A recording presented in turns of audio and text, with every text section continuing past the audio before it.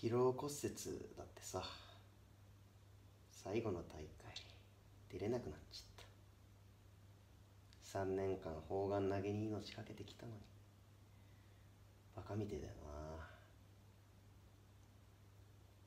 な。なあマネージャー。急にこんなこと聞かれて困るかもしんないんだけどさ。